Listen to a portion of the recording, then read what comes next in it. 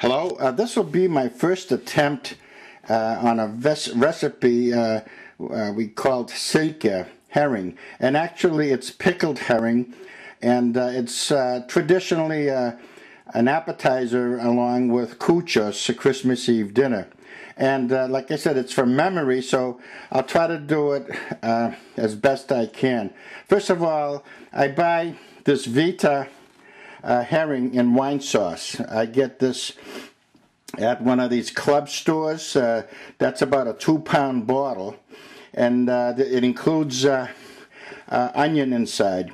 I, I drain the onion and leave it in the bottle, and I uh, take the herring out and I split it in half or thirds, depending upon morsel size.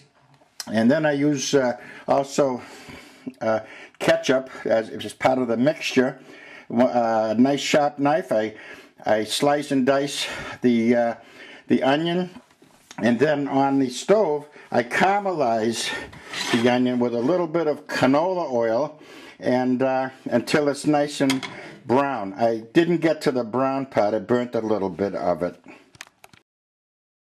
Then I place uh, the herring in another bowl, a larger bowl, and I put in a dash of ketchup and then I will uh, mix the ketchup and the herring and uh, I will taste it, uh, get it to taste and color. And as soon as the onion cools, I'll put the caramelized onion in this uh, bowl and mix it all up.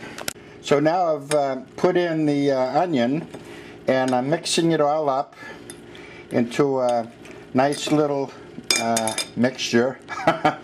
and I'm going to add some more ketchup to give it a livelier color and uh, and taste it to see if it meets my taste test. I found that one onion wasn't enough. Remember, I'm going from memory. So now I cut a second onion. I diced it, and then I split it in half so that uh, I wanted you to see what that looks like. And then we're going to caramelize it, a second onion. Okay, so now we're caramelizing the second onion and you stir as you go along. It's kind of hard to do holding a camera in one hand and then stirring it with the left hand. I'm right-handed, but anyway. So we'll wait, and we're doing this on medium heat, stirring as, as we go along until it turns a yellowish color, which will signify that it's ready to be mixed in with the silke and the ketchup.